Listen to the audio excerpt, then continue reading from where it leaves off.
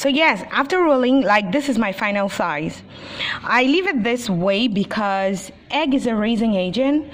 So when you actually get to use the egg to roll the thing it, it kind of rises when you're frying it.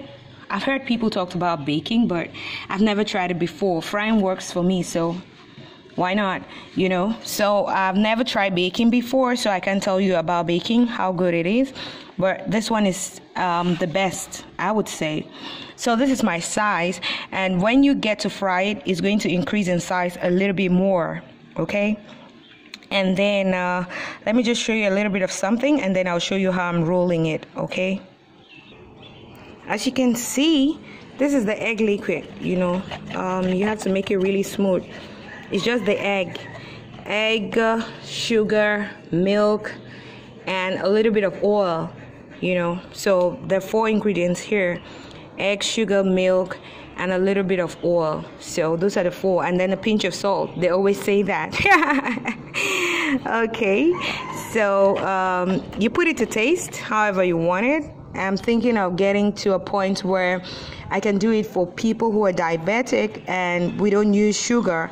But that's supposed to be a personal order because I I wouldn't I kind of like sweet stuff, so I wouldn't want to make it and then I can't eat it up. So if someone makes it, places an order, we can do theirs without sugar. So that's coming up too on my brand. And then uh, this is what we get. So we're getting now to the part of where we have to roll what you have to do is so you might not see me getting the liquid to put it in and getting the flour to put it in because of the way um, I'm holding my phone. You know I can't do both at once.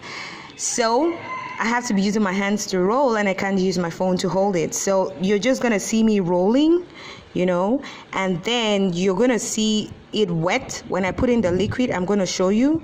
And then I'll probably um, maybe also tag a picture on it and then you see how it is and then I'll roll it and then I'll put in a bit of liquid again. So you have to do it simultaneously till you get the right size the size you want.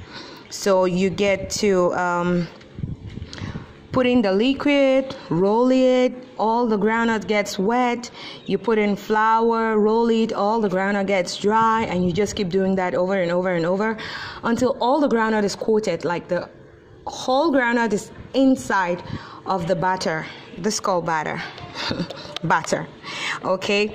And so you have to do that continuously until you get the right size. Most of the times i say when all the groundnut is coated it's good to go but you can just really maybe two or three more times after it's totally coated when you see that it's totally coated okay? So let's get to the rolling